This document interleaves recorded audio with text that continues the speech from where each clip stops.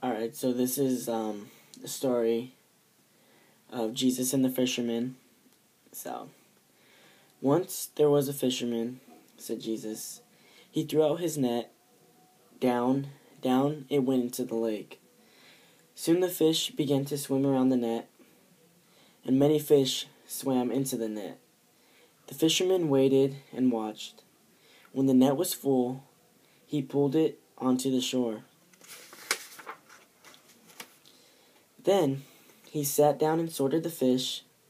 He tossed the good fish into the baskets, but he threw the bad fish away. God's kingdom is like the net, said Jesus.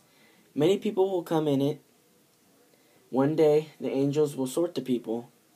The good people will get to stay in God's kingdom, but the bad people will not. And that's the story behind Jesus and the fisherman and how it relates to God's kingdom and how the angels will judge us um, later on in life.